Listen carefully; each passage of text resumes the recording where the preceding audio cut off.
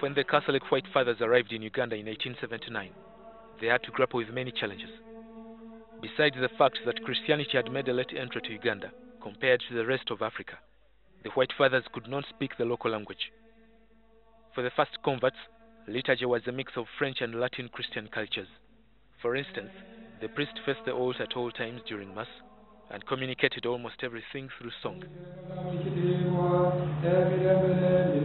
Catholic liturgy featured slow tempo, beautiful plain chants or canticles by priests in Latin, and this could have excited some converts. The converts crammed some of these songs and lines from recitations by priests in Latin without much regard to the meaning. This kind of music evoked spiritual emotion and devotion. Father James Kabuye, who has been a Catholic priest for 53 years, remembers the Catholic chants before and after he was ordained priest. Uh, that's why we are seeing the Kyrie, or if you know, you know these words, Kyrie, Gloria, Sanctus, uh, Agnus Dei. Oh, we are saying that, but in Latin, can you imagine? People learned those things here in Latin. At the time, priests were supposed to speak Latin, which is not common lately, except among his Father James Kabuye's contemporaries.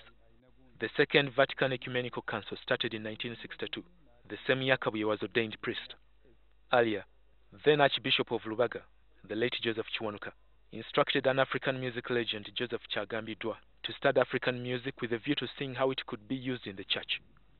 Father Kabuye was Kyagambiddwa's student. He learned from him how to write, read, and interpret African music.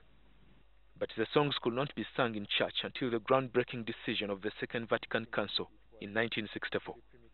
This was the opportunity for Father Kabuye, who could compose pieces in Luganda. A song to be sung in the church is not just to, to pick a, a, secular song and put uh, words or, or religious words and say it is a church music. No.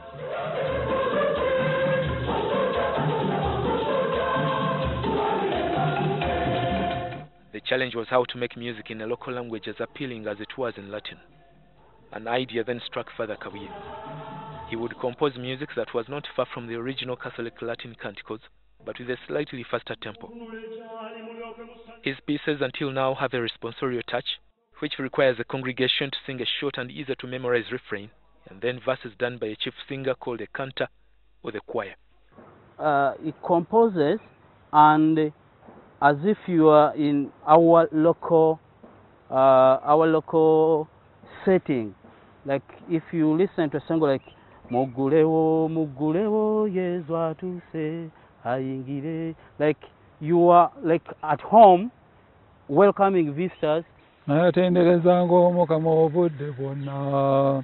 Ettendo lye mu kamwa kange bulijjo. Omwoyo gwange gwenyumiriza mu mukama. Abeetoowaze bawulire basanyuke tendanga omukama obudde bwonna natendanga omukama obudde bwonna natendanga omukama emirembe gyonna nze Beautiful. I saw Bazungu singing that song. Yeah, yeah. Was impressed. Yeah,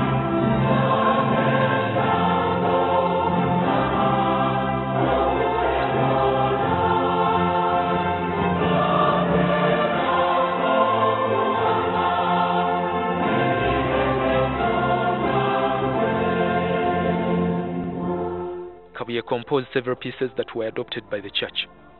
Other priests, Expedito Magembe and Vincent Vakabulindi, would later throw in their weight. Uganda region became the first to adopt a local language in liturgical music. In the following years, the late Monsignor Bonaventure Kasaija composed many of the liturgical pieces in Runyoro Rutoro, Nyankore Rukiga. In the 1970s, there was a heated debate on whether to use local instruments in the church as opposed to organs, which were a preserve of seminarians. Finally, local instruments were accepted, giving local music a full revival. Kabuye's music is routine in church for all types of mass. Recently, he self-published a book about Kiganda music.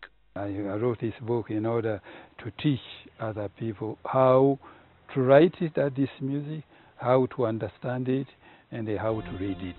He heads the Interdiocesan Music Committee, which is responsible for adopting and publishing Catholic liturgical music in Uganda. With more than 500 compositions to his name, the 82-year-old is still an active priest and composer based in Chiyinda Mitiana Diocese. Frank Walisimbi, NTV Talking Arts.